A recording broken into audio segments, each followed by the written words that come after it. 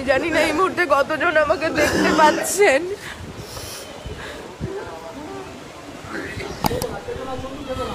জীবনে এতটা অসহায় বোধ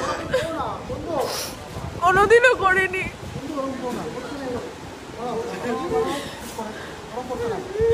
মৃত্যুকে এতটা কাছ থেকে দেখার অভিজ্ঞতা। আমি বহু ঝড় দেখেছি, আয়লা দেখেছি এই দীঘা থেকেই।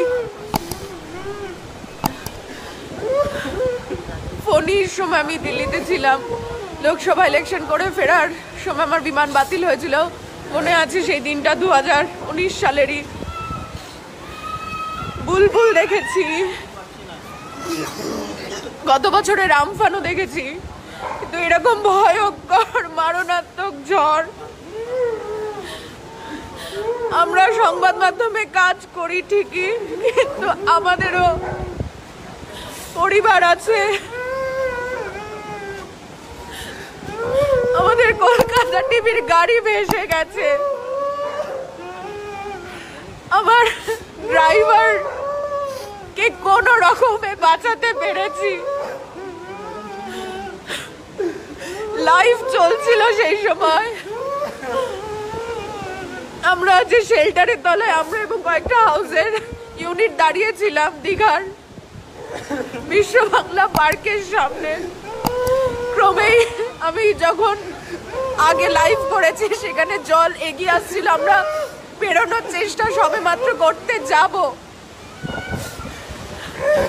পাশে আমাদের কলকাতা টিভির গাড়িটা ছিল এবং সেই গাড়ি সরানোর জন্য চন্দুকে বলতে যাই এবং সেই সময় গাড়ি থেকে কিছু জিনিসপত্র বের করার সময় চাই এবং গাড়িটা ঘোরানোর জন্য বলি। মুহূর্তের মধ্যে এত জলের চাষ চলে আসে।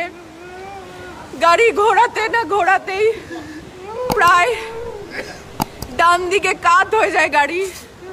ড্রাইভার চন্দু গাড়ি থেকে বেরোবে না। কোনো মতে ডান দিকে চালকের যে দরজা, সেই দরজা খুলে ওকে বের করার চেষ্টা করি। বলতে না বলতেই আরও অন্যান্য চ্যানেলের ক্যামেরাম্যান, রিপোর্টার তারা হেল্প করতে আসে। ও বাদিকের দরজা দিয়ে বেরোয়, আমি ডান দিকের দরজা দিয়ে গাড়ি থেকে কিছু জিনিস বার করার চেষ্টা করি।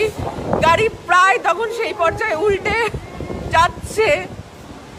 আমি, আমার এই ব্যাগটা, কিছু টাকা ছিল, মোবাইল ছিল আমার ক্যামেরা পার্সন মনোজের মোবাইল রেনকোট ক্যামেরার কিছু ডিভাইস সেগুলো আর বের করতে পারিনি। বাকি কিছু ব্যাগ ছিল, মনুদার ব্যাগ আমার ব্যাগ কোন রকমে বার করতে পেরেছি। মুহূর্তের মধ্যে আমার ডান হাত ধরে টানতে থাকেন একজন রিপোর্টার দাদা। গাড়িটা আমার চোখের সামনে পাল্টি খেয়ে কাত হয়ে পড়ে যায়। আমরা মুহূর্তের মধ্যে সেই জায়গা থেকে উঠে আসার চেষ্টা করি, কিন্তু এতটাই জলের গতি ওখান থেকে বেরোনো যাচ্ছিল না। পুলিশের গাড়ি যাচ্ছিল, আমরা চিৎকার করলাম হেল্প করে। আমার ড্রাইভার চন্দু ওখানে দাঁড়িয়ে গাড়ি ছেড়ে আসবে না কন্টিনিউয়াস দাঁড়িয়ে আছে। আমরা প্রায় আমাকে টানতে টানতে নিয়ে আসে দুটো হাউসের দুটো হাউসের ক্যামেরাম্যান অ্যান্ড রিপোর্টার প্রাণে বাঁচিয়ে আজকে তারা এনেছেন আমার ড্রাইভারকে ওখান থেকে আনা যাচ্ছিল না, প্রায় পাঁচ থেকে সাত মিনিট ওখানে দাঁড়িয়ে থাকে। আমি ধাতস্থ হতে পারছিলাম না যে চোখের সামনে কি দেখছি এটা। বহু ঘটনা, এর থেকে ভয়ঙ্কর কিছু কি হতে পারতো কিনা আমি জানি না। হতে পারতো হয়তো। মৃত্যুকে এতটা কাছ থেকে গাড়িটাকে যেভাবে ভেসে যেতে দেখলাম, যেই জায়গায় সকালে দাঁড়িয়ে লাইভ দিয়েছি, সেখানে প্রায় কোমর অব্দি জল। গাড়ি ভেসে যাচ্ছে নিজেদের প্রাণ বাঁচানো, বাঁচানোর জন্য আমরা ওখান থেকে চলে এসেছি। অফিসের থেকে বারবার ফোন করছে, কারোর ফোন ধরতে পারছি না। আমাকে টেনে এনেছে ওখান থেকে দুটো হাউসের যারা ফোন করেছেন প্লিজ আমি কথা বলার মতো অবস্থায় ছিলাম না।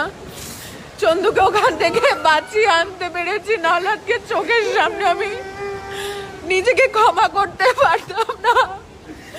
গাড়ি ঘোরানোর সময় ওকে যেভাবে বের করেছি, আমি আমার লাইফে অনেক অ্যাক্সিডেন্টও দেখেছি, কিন্তু এই রকম মুহূর্তের মধ্যে পরিস্থিতি এতটা ভয়ঙ্কর হয়ে যাবে। ওকে? কিছুতেই গাড়ির সামনে থেকে নিয়ে আসা যাচ্ছে না। আমরা আমাদের সবাই বলতো কাজ, পাগল। পরিবারের লোকেরা চিন্তা করতো যে এরকম ঝড়ের মধ্যে কেন জীবনকে বাজি রেখে ওখানে যাচ্ছিস পরিবারের লোকের সবার জন্য চিন্তা আমাদের হয়। এতটা অসহায় বোধ কোনোদিনও করিনি। কোনো কিছুকে ভয় পাই না। কিন্তু চোখের সামনে আজকে যে যে যে অবস্থা বাঁচাতে পেরেছি, এই সম্পর্কটা যদি না পারতাম বাঁচাতে আমাদের সবসময় সঙ্গী, চন্দু। আমার সব অ্যাসাইনমেন্টে আমার সঙ্গে থাকে। আমার ক্যামেরা পার্সন মনুদা এখনও ছবি সংগ্রহ করে যাচ্ছে। আমাদের দায়বদ্ধতার জায়গা থেকে আমরা কতটা আমরা কতটা আমরা এই রাস্তা দিয়ে টানতে টানতে আমাদের নিয়ে এসেছে, পাশেই আমাদের হোটেল। হোটেলে এখনও ঢুকতে পারিনি।